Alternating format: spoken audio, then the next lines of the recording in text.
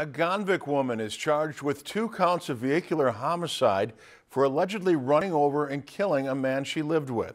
According to the criminal complaint in the case, 47-year-old Beth Windus is accused of backing her car up while intoxicated and driving over and killing 51-year-old Jonathan Sunquist of Gonvick. Matt Henson has more. The family of Jonathan Sunquist has begun to gather here at his home in rural Polk County. They traveled down from Duluth today. Now, I had a chance to speak with them for a few minutes, and they are still visibly shaken and upset from what happened over the weekend.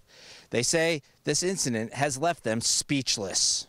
According to the criminal complaint released today and obtained by WDAY News, Windus says she started arguing with Sunquist when she got home Friday afternoon.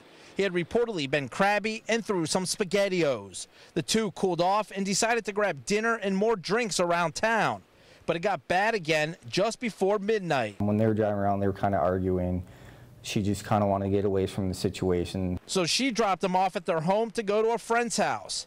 That's when the night turned deadly. There was uh, indications of a rapid acceleration from a vehicle. According to court papers, Windus told investigators she then heard a thump thump. And as she was pulling forward, she looked over and saw. Windus reportedly did not call 911. Instead, she went to her boss's home to have her go check on Sunquist. She told her boss, quote, it was bad. When the boss got to the home, she called 911. She told the dispatcher Sunquist was breathing and moaning, but he died by the time help got there. Windus was then arrested at her boss's home.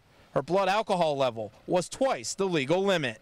Is there any indication that this may have been intentional? Not at this point, no. I mean, we're still investigating it, but I'm not going to speculate if it was intentional or, or an accident. All I mean, she just indicated that she didn't, she didn't intend to do it. If convicted, Beth Windus faces up to 15 years in prison. If you enjoyed this segment of Lakeland News, please consider making a tax-deductible contribution to Lakeland PBS.